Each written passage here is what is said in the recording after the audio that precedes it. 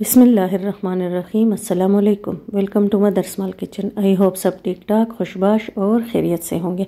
अल्लाह सबको खुश रबाद रखे, सबको बच्चों की खुशियाँ दिखाए, सब पे अपना फजल करम रखे। शुक्र गर्मियाँ कम हो गई, मौसम ठंडा हो गया, बहुत मज़े हो गया तो सोचा, सबसे पहले मूँगफली बुनते हैं, उसके बाद खीर बनाएँगे। तो शुरू करते हैं पहले मूँगफली।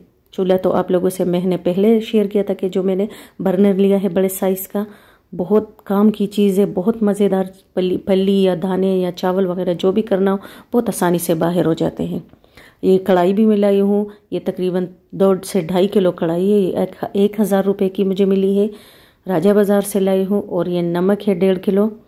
तो कढ़ाई रख दी, उसके ऊपर, उसके में एक नमक डाल दिया और जब नमक अच्छा गर्म हो जाए, जब उससे चटकने की आवाज़ आए ना नमक से, तब उसमें मैंने मूँगफली डाल दिए और अब मूंगफली को आराम आराम से हल्की आँच पे भून लें इसलिए कि एक तो नमक गर्म होता है ऊपर से, अब तेज़ आँच पे करेंगे तो मूंगफली बाहर से तो गोल्डन हो जाएँगे, लेकिन अंदर से कच्चे रहेंगे।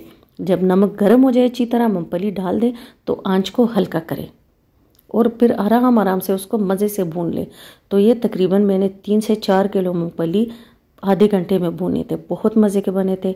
और आप लोग भी आए हमारे साथ, खाए ठंडा ठंडा मौसम। बारिश भी हल्की फुल्की हो रही थी और गरम गरम मूँगफली। इस मौसम में तो दाने और मूँगफली ड्राई फ्रूट तो इतना महँगा हो गया कि गरीब की नहीं, अमीर की पहुँच से भी दूर हो गया है।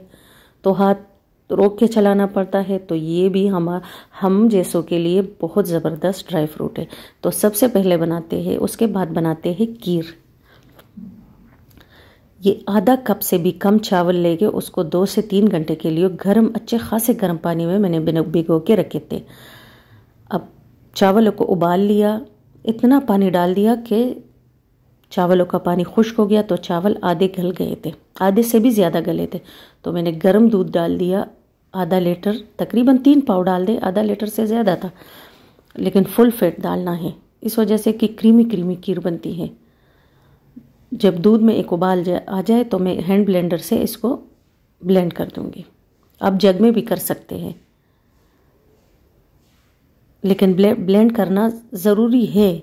अच्छा है, चावल अच्छा खासा कूट जाता है। तो हाथों से तो इतना नहीं होता। तो मैंने हैंड ब्लेंडर से किया। आप ब्लेंडर वाले जग में भी कर सकते हैं। उसकी शक्ल आप देख रही है कि किस तरह आई हुई है। अब इसमें चीनी अपने हिसाब से डाल दें, जितना आप लोगों को पसंद है। मैंने तकरीबन दो स्पून भर के डाले हैं। ये सूप वाली स्पून है।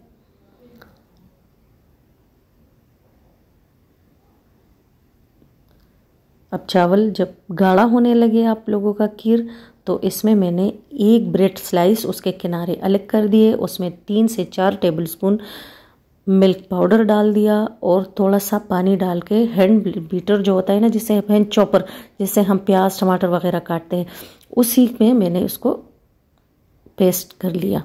इस वजह से कि इसके लिए कौन हैंड ब्लेंडर लगा निकालता? तो इससे बेहतर था आसानी से करो। उसमें एक ब्रेड स्लाइस जिसके किनारे मैंने काट लिए और जो भी आप लोगों के पास खुश्क दूध हो ड्राई मिल्क चाहे वो स्किम मिल्क हो या एवरीडो या नीडो वगैरह, वो डाल के उसको अच्छी तरह ब्लेंड किया और कीर में डाल के कीर को गाढ़ा किया। अब लाइट चली गई तो थोड़ा अंधेरा हो गया, वो लाइटें बंद हो जाती है तो ये खीर हमारी बन के तैयार हो गई, उसको मैंने साइड पे कर दिया और ये मैंने फ्रूट चाट बनाई थी, प्याज और शिमला मिर्च के साथ। बेनतहा मज़े की बनती है, मीठी चाट होती है। और साथ में लोबिया की मीठी चाट बनाई है, जिसको टेम्बर या डम्बर कहते हैं, वो डाल दिया था। जो मसाला होता है, जो मुँह में ठंडा ठंडा आता है। और शाम के लिए खीर भी फ्रिज में ठंडा होने के लिए रखती थी। ऊपर से हमने डाल दिए तीन से चार अदद बादाम छोटे छोटे काट लिए। साथ में थोड़ी सी किशमिश और एक पीस छोटा सा कोपरे का। और इसके आप लोगों के सामने सजा के ले आए। ये गार्निशिंग थोड़ी सी बेहतर होती है इस वजह से कि जो सामने आता है ना तो अच्छा लगता है।